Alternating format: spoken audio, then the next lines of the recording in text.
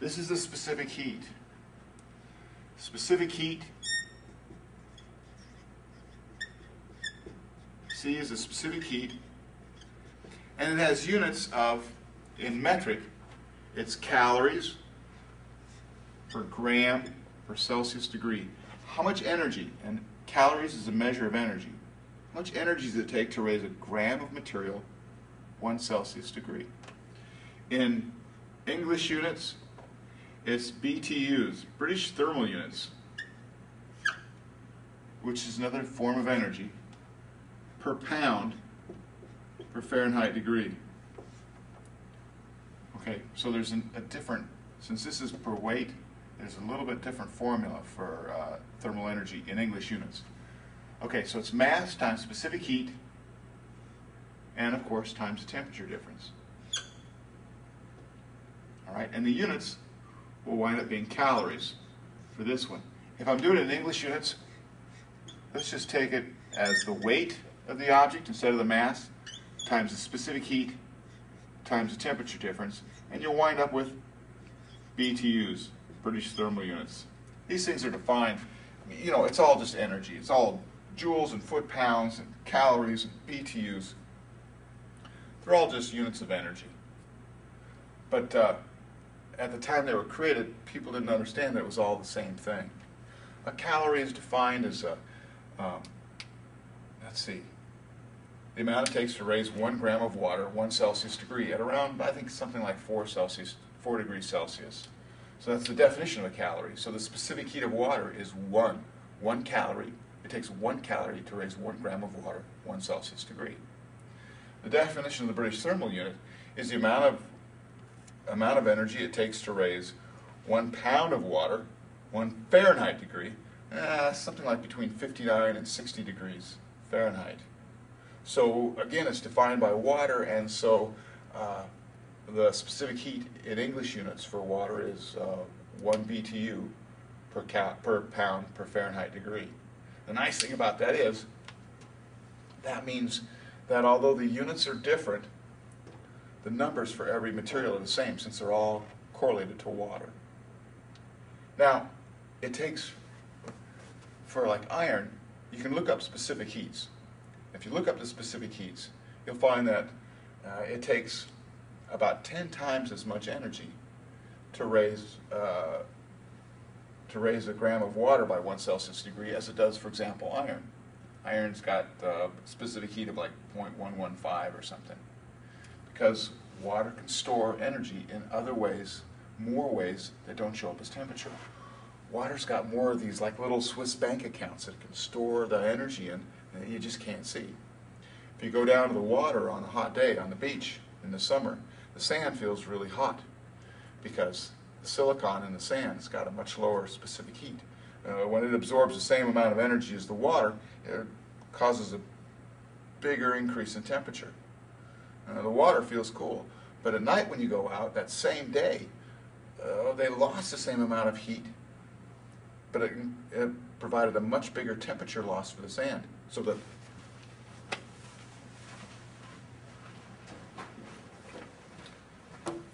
so the sand is much cooler and the water feels warm. The reason the Pacific Northwest has such moderate temperatures is because it gets its air from over the water. That moderates the temperature much better. So let's see, let's do, uh, let's do some examples. I'll do a metric example, and I'll do an English example.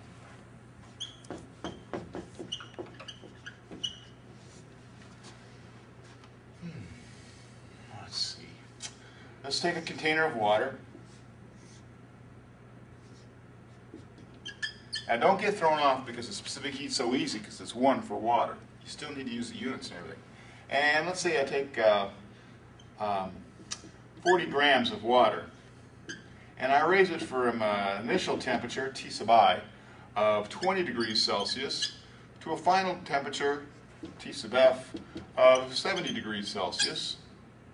And, uh, and it's H2O, so the specific heat of water, I remind you, is one calorie per gram. It takes one calorie of energy to raise a gram of water one Celsius degree. All right. And I want to know how much heat is absorbed.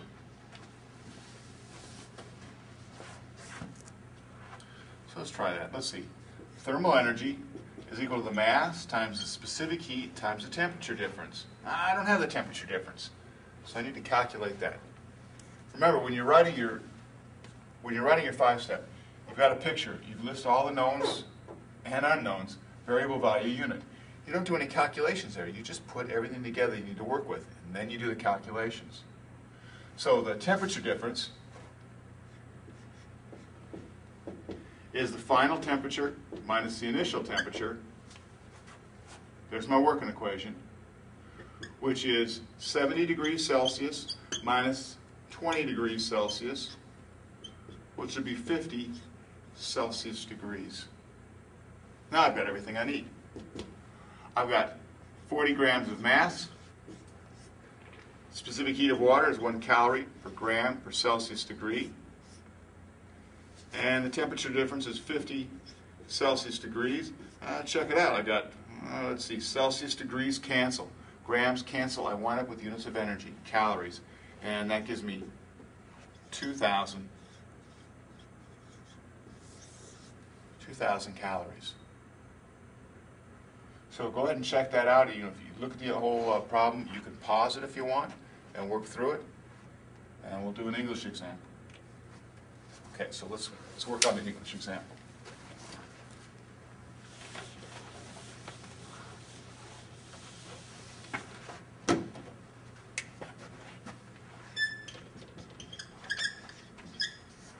Take a block of, uh, of iron. You can correct me if I'm wrong, but I think uh, this is iron. I think the specific heat of iron is about, uh, I'll call it Fe because that's the symbol for iron. I think it's 0.115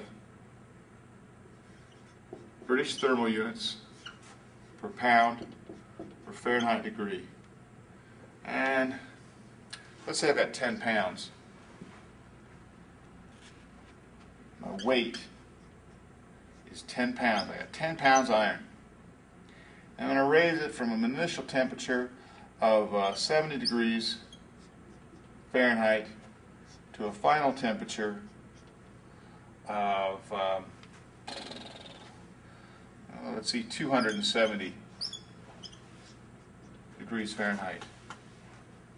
Now I want to know how much thermal energy was absorbed by that block of iron. Let's see. You know, again, I'm going to have to calculate delta T, so I'll do that. Temperature difference. So the temperature difference, delta T, is equal to the difference between the final temperature and the initial temperature, which is going to be 270 degrees Fahrenheit minus 70 degrees Fahrenheit, which gives me 200. That's a temperature difference, so it's Fahrenheit degrees. And the thermal energy absorbed by this is going to be the weight, because it's English units, times the specific heat of iron, times the temperature difference, which is 10 pounds times 0.115 British thermal units per pound per Fahrenheit degree times the temperature difference of 200 Fahrenheit degrees. The Fahrenheit degrees cancel and the pounds cancel. And I'm going to wind up with, uh, let's see,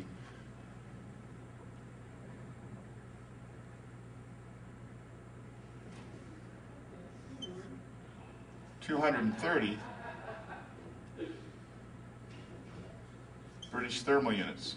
Two hundred and thirty BTUs go into that. All right. Now, no, that's pretty good. That's thermal energy.